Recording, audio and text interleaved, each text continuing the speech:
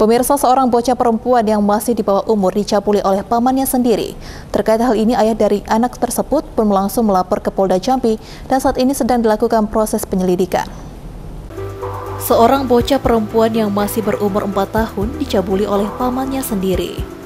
Mendengar aduan dari anaknya, orang tua bocah tersebut pun langsung melapor ke Polda Jambi. Berdasarkan keterangan yang didapat dari ayah korban pada 4-5 Januari 2023 lalu, Pelaku membawa korban untuk menginap di rumah orang tuanya. Pada saat itulah pelaku melakukan tindakan pelecehan dengan memasukkan jari ke kemaluan korban. Dan setelah kejadian tersebut, sang anak pun melapor ke ayahnya dan melanjutkan ke pihak kepolisian Polda Jambi. Sebelumnya, ayah korban sudah melaporkan kejadian tersebut ke pihak kepolisian.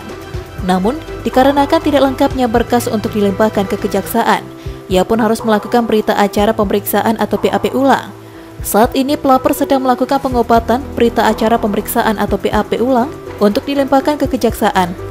Orang tua korban berharap agar pelaku dapat dihukum seberat-beratnya. Dimintai keterangan ulang oleh kejaksaan. Itu kenapa bang kita uh, dimintai keterangan ulang? Katanya ada berkas yang belum lengkap. Apa saja itu bang? Mungkin bisa dijelaskan? Eh, yang dari ini, yang dari yang BAP pertama itu diulang lagi di hari ini pertanyaan-pertanyaan itu diulang lagi alasan itu kenapa bang? itu kurang tahu juga ya tadi kata informasi dari kepolisiannya itu belum lengkap belum lengkap bang ya? iya jadi uh, ini uh, di BAP ulang?